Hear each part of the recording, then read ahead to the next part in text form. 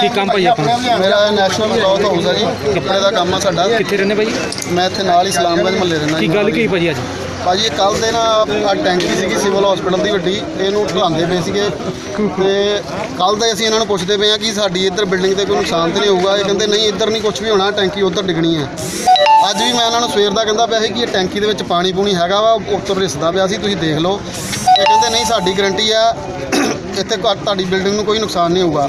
ਹੁਣ ਇਹਨਾਂ ਨੇ ਟੈਂਕੀ ਸੁੱਟੀ ਆ, ਸਾਰੀ ਟੈਂਕੀ ਪਾੜ ਕੇ ਪਾਣੀ ਦਾ ਪ੍ਰੈਸ਼ਰ ਆਇਆ, ਐਡਾ ਕੁ ਤਗੜਾ ਪੱਥਰ ਮਲਵਾ ਐਡਾ ਕੋ ਸਾਰਾ ਤੁਹਾਡਾ ਕਰੋੜਾਂ ਰੁਪਈਆ ਦਾ ਮੇਰਾ ਨੁਕਸਾਨ ਕਰਤਾ ਜੀ। ਇਹਨੇ। ਟੈਂਕੀ ਜੋ ਤੋੜਨ ਦਾ ਕੋਈ ਪ੍ਰਸ਼ਾਸਨ ਦਾ ਬੰਦਾ ਨਾਲ ਸੀਗਾ ਨੇ? ਇਹਨਾਂ ਦੇ ਨਾਲ ਕੋਈ ਨਹੀਂ ਖੜਾ ਜੀ। ਕੱਲ ਤੇ ਲੱਗੇ ਕੱਲ ਦੀਆਂ 6 ਟਰਾਈਆਂ ਕੀਤੀਆਂ ਨਾੜੀ ਬੰਦੇ ਕੱਲ ਤੇ ਇਹਨਾਂ ਨੂੰ ਅਸੀਂ ਕਹੀ ਜਾਂਦੇ ਆ। ਲੋਹੇ ਦੀਆਂ ਰੱਸੀਆਂ ਰੱਸੀਆਂ ਟੁੱਟ ਗਈਆਂ ਟੁੱਟੀ ਜਾਂਦੀਆਂ ਕਦੀ ਕੁਛ ਕਰੀ ਜਾਂਦੇ ਆ ਕਦੀ ਕੁਛ ਕਰੀ ਜਾਂਦੇ ਆ। ਵੀਡੀਓ ਵੀ ਹੈਗੀ ਸਾਡੇ ਕੋਲ ਵੀਡੀਓ ਕੱਲ ਤੇ ਕੱਲ ਦੀਆਂ ਵੀ ਬਣੀਆਂ ਹੋਈਆਂ ਇਹਨਾਂ ਦੀਆਂ ਜਿਹੜੇ ਜਿਹੜੇ ਕਰਦੇ ਪਏ ਸੀ ਕੰਮ।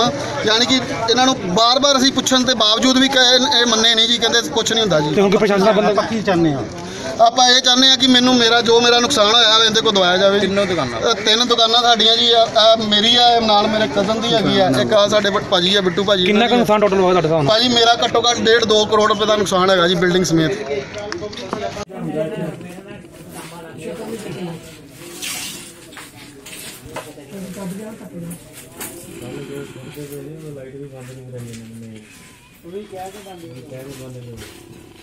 ਜਿਹੜੀ ਟੈਂਕੀ ਟੁੱਟੀ ਆ ਲੋਕਾਂ ਦਾ ਨੁਕਸਾਨ ਆ ਇਹਦੇ ਬਾਰੇ ਕੀ ਕਹਿਣਾ ਚਾਹੁੰਦੇ ਤੁਸੀਂ? ਇਹ ਸਿਵਲ ਹਸਪਤਾਲ ਦੇ ਬੈਕ ਤੇ ਟੈਂਕੀ ਸੀ ਪਾਣੀ ਬੜੀ ਪੁਰਾਣੀ ਸੀ ਕੰਮ ਨਹੀਂ ਕਰ ਰਹੀ ਸੀ ਡਿੱਗਣ ਦਾ ਖਤਰਾ ਕਈ ਸਾਲਾਂ ਤੋਂ ਬਣਿਆ ਸੀਗਾ।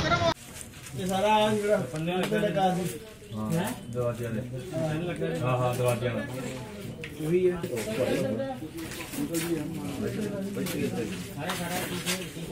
ਮਨੇ ਇਦਾਂ ਹੱਥ ਕਰਨਾ ਇਦਾਂ ਨੂੰ ਖੜਾ ਹੋ।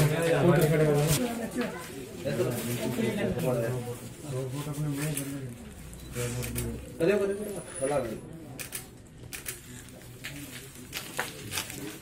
有。